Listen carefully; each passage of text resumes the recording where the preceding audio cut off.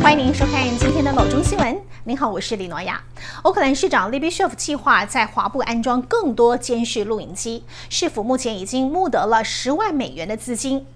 欧克兰市议会曾经考虑拨款七万五千美元来安装街头的监视录影机，但是这项提案遭到欧克兰隐私委员会反对，导致计划流产。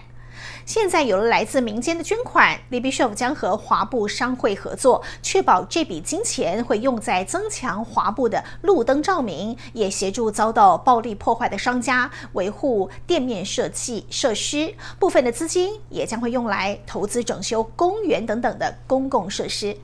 大家愿意到欧克兰的公共场所举办活动，就能够为华埠聚集人气，为商家带来买气。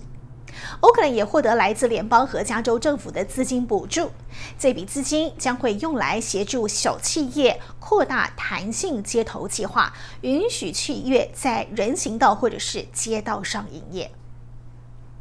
新闻继续来关心，员工有没有打疫苗，需不需要向公司报备？Santa Clara County 率先宣布新规定，要求雇主必须要追踪员工是不是已经接种疫苗。Santa Clara County 允许已经完成疫苗接种的上班族不用在办公室里戴口罩和保持社交距离。县政府说，加州的新职场政策对已经和尚未完成疫苗接种的人做出非常清楚的区分，所以雇主必须要了解雇员是不是已经接种。根据联邦政府公布的安全新指南，从现在开始，已经完成接种的民众在户外。和在大部分的室内环境都可以不用戴口罩。加州也计划从六月十五号开始采纳联邦的建议。加州目前已经有大约一千五百八十万人完成接种，有四百七十万人已经接种一剂疫苗。不过，有人质疑，如何来确定没有戴口罩的人已经完成疫苗接种呢？